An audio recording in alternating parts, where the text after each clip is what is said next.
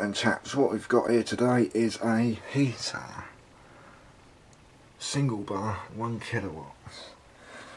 Unfortunately, I imagine that A, that cable perished and an electrician cut it off. You can't use that anymore. So I throw it out and get a crappy halogen heater. Oh, I've got other ideas. So what I'm going to do is I'm going to replace that with this. I thought I'd give it that vintage feel. And that's from this iron here which is rated for a maximum of 1400 watts. So we're not going to be pushing it.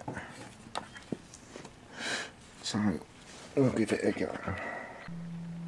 Right, just a quick look at the internals of the unit. We've got these little bus bars. This top one's ground, the one underneath it's live. And then down there we've got the neutral. And again the ground on top. And we've got these little ceramic spaces in between. So they don't short out.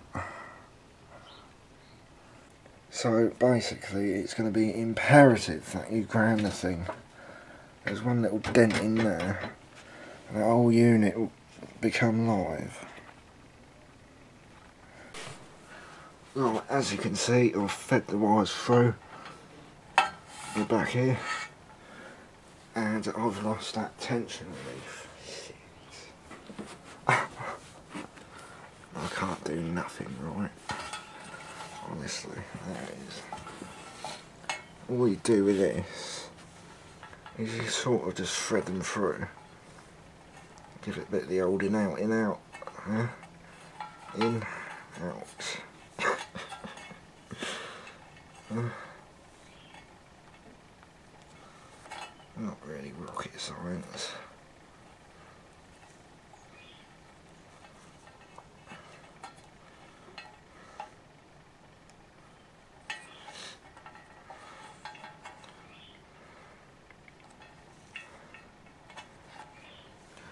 See that when I pull on that, I ain't going nowhere. I'll probably do is shortening that off a bit, but that sort of slips over it a bit like a Johnny. See? So I'll just pull that through there in theory, and we should be good to go.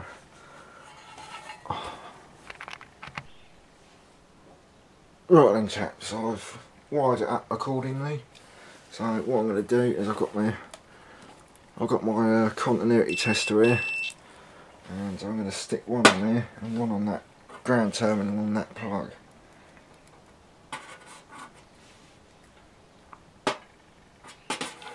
Oh.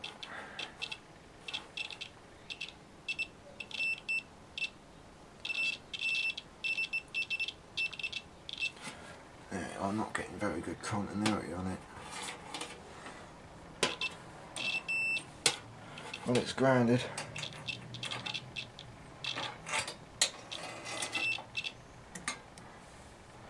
Right, let's try live. Nothing. Neutral. Nothing. So that's grounded and uh, these two, the knife and the neutral, are isolated from ground.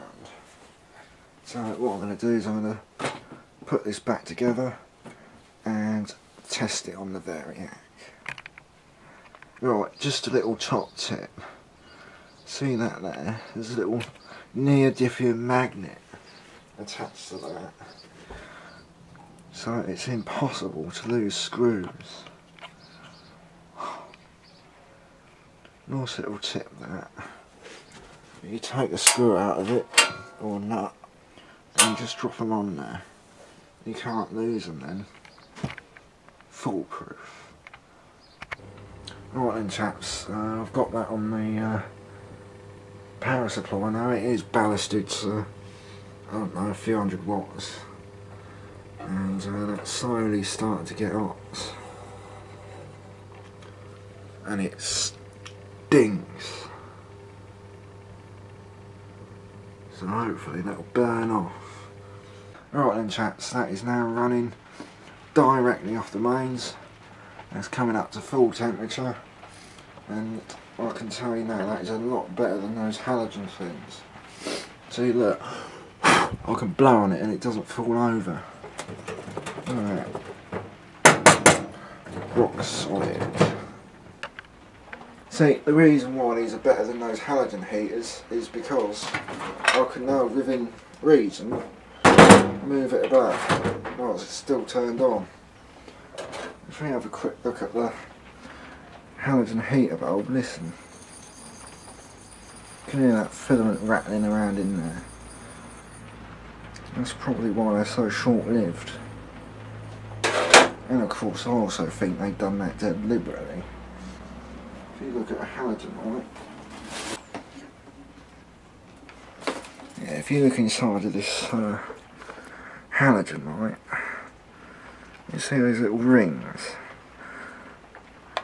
So then they stop that filament from sagging and robbling about.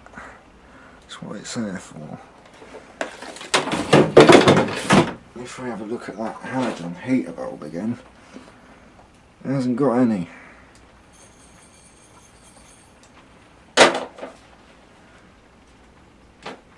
Usual job of making it to fail.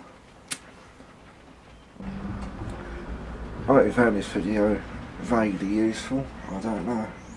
But the iron that donated this cable, I'm going to burn it out.